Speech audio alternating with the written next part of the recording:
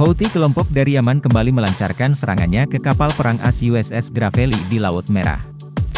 Meski sempat ditepis oleh AS, serangan rudal Houthi mampu mencapai sasaran dan terkena kapal perang AS tersebut. Houthi pun menyebutnya sebagai pertolongan dari Tuhan. Dikutip dari Al Arabiya, Houthi menembakkan rudal ke kapal perang AS di Laut Merah itu beberapa jam setelah militer AS melaporkan menembak jatuh sebuah rudal dari Yaman.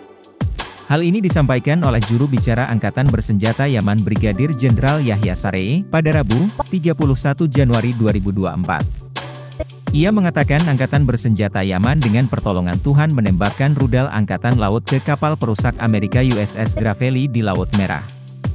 Sementara dikutip dari Al-Mayadeen, Saree menegaskan bahwa serangan itu untuk memenangkan rakyat Palestina yang tertindas dan sebagai dukungan dan solidaritas dengan saudara-saudara kita di jalur Gaza. Selain itu, sebagai pembalasan atas agresi Amerika Inggris terhadap negara Yaman. Sari pun menegaskan bahwa semua kapal perang Amerika dan Inggris di Laut Arab dan Laut Merah adalah target yang sah untuk melancarkan agresi terhadap negara tersebut.